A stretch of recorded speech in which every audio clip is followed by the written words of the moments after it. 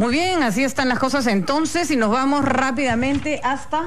Puno. Puno con Blas Condori. ¿Qué pasa en Puno? El personal del ejército entregará kits de ayuda a afectados por bajas temperaturas. ¿Dónde ocurrirá y cuándo? Blas Condori nos pone al día. Blas, ¿cómo está? Muy buenos días.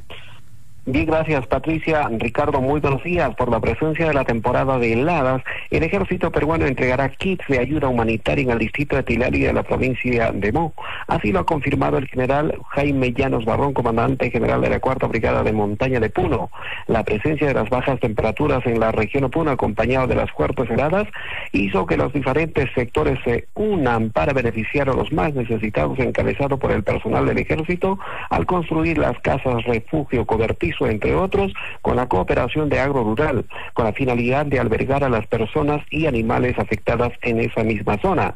A esto se suma la atención de salud en odontología, medicina general y otros, como la entrega de más de 1.800 kits de ayuda humanitaria en el distrito de Tilari de la provincia de Mo, con la finalidad de poder beneficiar y la verificación del general Luis Humberto Ramos Umi, comandante general del ejército peruano. La actividad está causando gran expectativa en la zona de frontera con la hermana República de Bolivia. Retornamos con ustedes, Pati y Ricardo.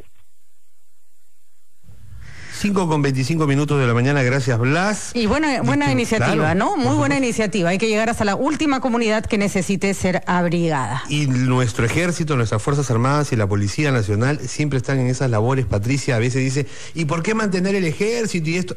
Bueno, el ejército de nuestro país cumple estas labores también, ¿ah? de asistencia. Y ha sido de muchísima ayuda. En el fenómeno del niño, por ejemplo. Ahora en las heladas también. Tal vez el, tema no sea desaparecerlo, por supuesto, sino orientarlo más bien hacia servicios internos, ¿no? Lucha contra el narcotráfico, este, contra el terrorismo y ayuda a la población.